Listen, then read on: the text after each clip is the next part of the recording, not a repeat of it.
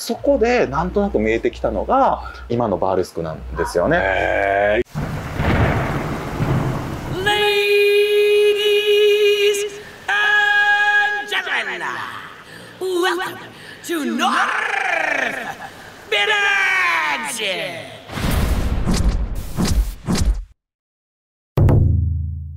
でその炎上起こり店を一つしない、はいそういったことができなくなり、はい、まあ、言ってしまえばこう必殺技を使えなくなった 悟空みたいなもんじゃないですか。そうですね、うん。まあ、それと、まああのひ広げすぎてうん。あの、まあ、数字もうまいこといかなくもなってたし、あその10店舗が。はい、そそういうこと関係ななく、うんうんうん。あのまあ、組織としてチームとしても弱くなってきてたしっていう状況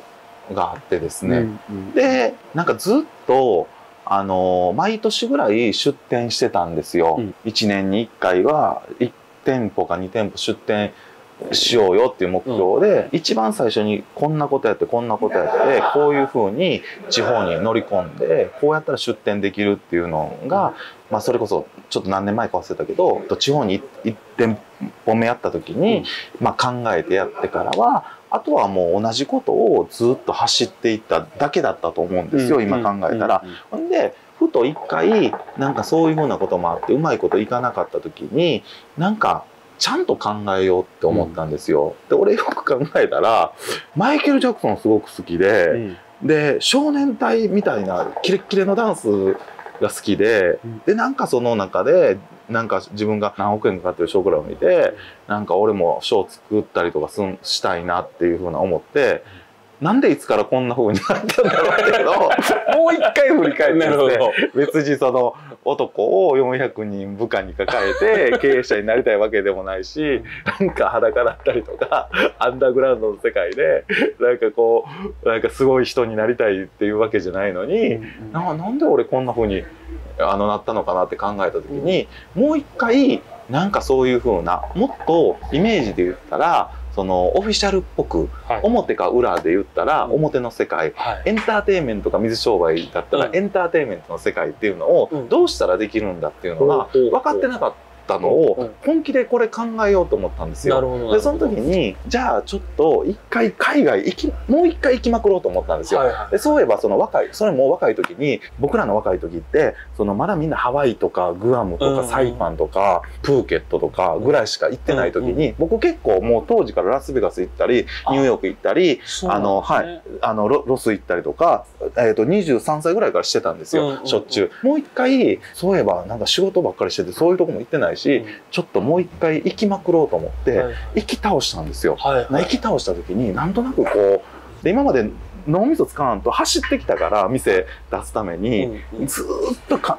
考えてずーっとそのエンターテインメントやりたいずーっとオフィシャルっぽいことやりたいってずっと考えながら海外ずっと見てたらそこでなんとなく見えてきたのが要はバー今のバーレスクなんですよね。いやそこからバーレスクが見えるっていうのがすごいですよね。なんかそのショー自体はあここのショーがしたいとかっていうんじゃなくてなるほどなってここのお店ってこんだけ毎日お客さん入ってるんだとかっていう、ああなるほどなって全然俺がやってることよりなんかエンターテインメントだなっていうなんかそういうところを見てたら、うん。まずいい箱作ってないな俺って思うっていうことに気づいて、そもそも商売っていうのは教えられてきたのもそうなんだけど、うん。店なんかにお金かけない、うん。ででたくさん利益を儲けるっていうのは商売の、まあ、原理原則っちゃ原理原則じゃないですか、うんそうじゃなくてやっぱりかっこいい店作らないとあいいいい女の子が集まらないいい,、うん。いいダンサーが集まらないと思ったんで、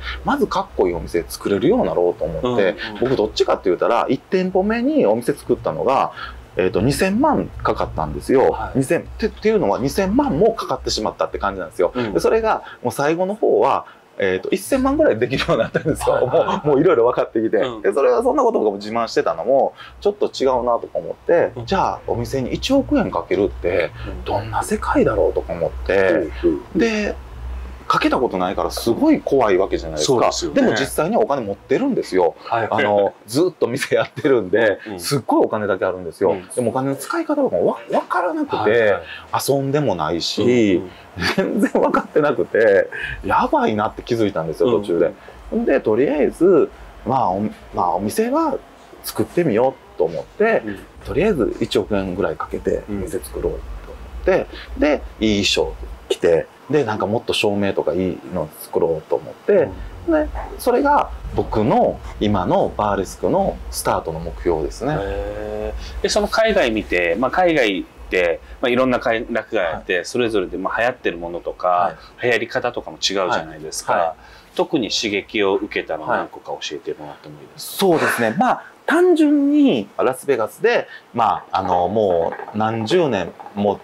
あの、まあ、ず、つ、通用してる、えっ、と、シルク・ド・ソレイユの、あの、一番いい作品とかもうん。見たし、うん。あとニューヨークとかだったら、まあ、あの、ニューヨークとかも普通に、あの、ブロードウェイでやってるような、うん。ロングランでやってるような、超いい作品も見て、うん。で、あと、オフブロードウェイであるような、あの、えっ、と、まあ、今はこんなことが流行ってるとか、当時で言うたらブルーマンとかうん見たことも刺激になったし、ああと、まあ、パリの、いわゆるキャバレーショーっていうんですけど、はい。キャバレーショーの、まあ、あの、一番の世界がムーラン・ルージュとか、ああの、クレイジーホースとかも、はい。まあ、見てきて、であとそれだけじゃなくて、タイとかにあるようなうん。チープなショーの中でも、その、すごく勉強になることとかはも、やっぱりありましたし、これ、これが一番とかっていうことじゃないんですけど、なんかそれぞれ全全部見て、じゃあ俺だったらどんなことをやりたいかな、うん。みたいなうん。ことっていうのが、まあうん今の、うんまあ、ババーレスクというか、なるほど、はいなるほど。へとえ。にかく店のかっこよさとか照明とかステージがガーって動くようなこととか、そういうふうなことのやっぱりその刺激っていうのは、うんうんまあ、ちょっとすごかったですよね。なるほど、なるほど。これこれだっていうのは、えー、そっか。そう言われるとそのバーレスクって僕からするとはい他にはなく見えるんですけど、でもそういうふうに今行った場所とか聞くと、はい。あラスベガス感もあり、タイ感もありとか、はい。はい。なんかいろんなものがミックスされてるような。そうですね。だからなんかなんとなく、まあ、すすごいっていう見方となんか4割ぐらいはなんかなんかそうじゃないなみたいななんか疑いというかみたいなところも常に感じてたりとかして、うん。なんかなんか僕はなんかショーショーだけじゃなくてショーも含めた2時間の間なんかこうずっとなんか楽しいずっと刺激があるみたいな、いいショーだったなって言われるだけだったらなんか消費されてしまう感じがしたんですよ。もっとそうじゃなくてなんかなんかめちゃくちゃ楽しかったなみたいな。で刺激になって3日ぐらいだったらちょっとまた行きたいなとかうんうん。って思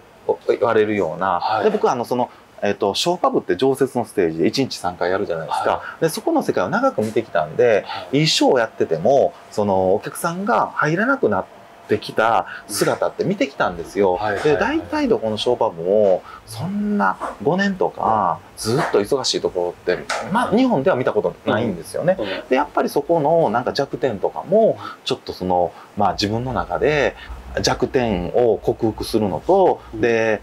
えーと何十年も歴史があるそのショーパブを新しい進化型って言われるのにうんはどうしたらいいかなっていうところっていうのはすごく考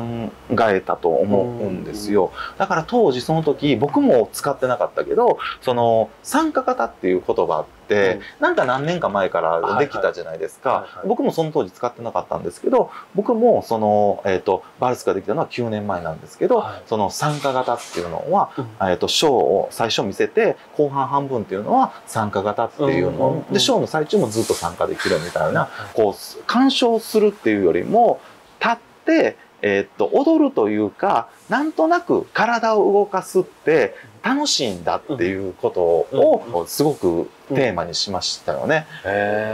なんかなんか僕も逆に見る側でもあるから、ちょっと立ってよとか踊ってよって言われたら、結構地獄だなって思う。わかります？なんかあるじゃないですか。それのなんか持っていき方っていうのを、うん。なんかすごく研究したし、なるほどなるほど、でなんかそれって消費されなくて、うん。なんかまた行きたいみたいな、うんうん。なんか体に残る、うん。そのし刺激、刺激中毒みたいなうんうんうん。状態ですよね。を作るみたいな。でもなんかそういう新しい進化したエンターテインメントを作るっていう時にやっぱそのステージに立ってそういうショーをやってた人だからこそ、はい。例えば1億かけてはい。内装だけ凝ってもそうは、はい。はい。ねできないだろうし、そうですね。そのステージだけ作っても、はい。そこで何をやるのっていう想像がつかないと、はい。なかなかできないじゃないでか。そうですね。そこをバチッとそのはい過去やってたこととはい。噛み合ったってことですよそうね。そうですね。過去やってたことっていうのはうんやっぱりすごく大きいかもしれないですね、うん。もう本当にその全裸 やっぱりその人はどうしたらうん。こうハマるんだとか、うん。人はどうあこんな風に思うんだみたいな、あのドン引きのところから世の中にない刺激を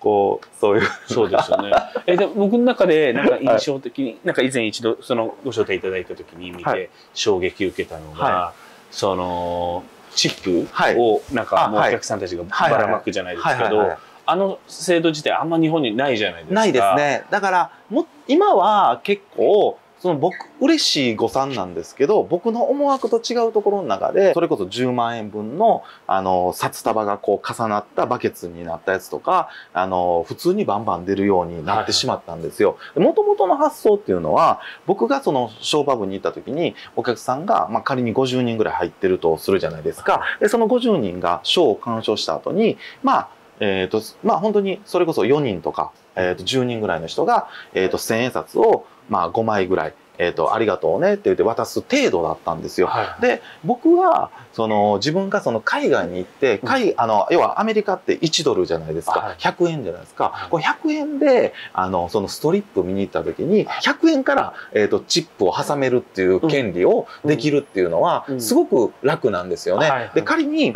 その僕逆の立場になったら分かるんですけどそのなんとなく自分が、えーとでえー、と演者が10人いたらその10人もしくは、えー、とあの仲がいい子5人ぐらいに1,000円ずつは渡さないといけないなって言ったら5,000円かかってしまうってちょっと重いじゃないですか、はいはい普通の人からしたら。うんでもそれをあのアメリカみたいにうん。100円札にすることによって、うん。まあ2,000円とか1,000円でみんなに渡せれるっていうのは、はそんなに重くないじゃないですか。はい。それとかなんかちょっと1,000円だけ買ってそのチップを挟むっていう体験を、まあ、してほしいっていう。ふうにに持っていってでそれの前までにもう水着のお姉ちゃんが、まあ、20人ぐらいバーっていててサラリーマンのところか駆け回ってでお酒どうぞどうぞ飲んでくださいっていう感じで無料でお酒とかも配るところがあって、そのベースを作り上げた状態でステージを見てもらう、うん。でししかもでセクシーなことしてる。なんだこれはなんだこれはっていうところの中で、うん。じゃあみんじゃあお酒も回ってきたところで、えー、と興奮してきたところで一緒に踊りましょうよって言って踊らす、でその後にチップコーナーがありますっていう、うん。そのチップっていうのもチップくださいねっていう風なんとかをするんじゃなくて、うん。それもちょっとわびさびの世界で、うんうんまああの挨拶に回りますっていう体で、はいよかったらみたいな。なるほどそうなのなるほど。ででしかも1000円で参加できる。1000円というか、い100円で参加できますから、っていうところでなんかスタートしたらほとんどの、まあ、100人入ったらまあほとんどの人がチップ渡しますよね。買わない人いないですよね。あー。だからそれすごい浸透のさせ方ですよね。そもそも日本ってチップっていう文化がないじゃないですか、はい、ないですね。だか。らあげたことない人とかもいっぱいなわけじゃないですか、はでそれをかつやりやすくして、はい。もうなんかこうそれが当たり前みたいになってるわけじゃないですか、そうあの世界観すごいな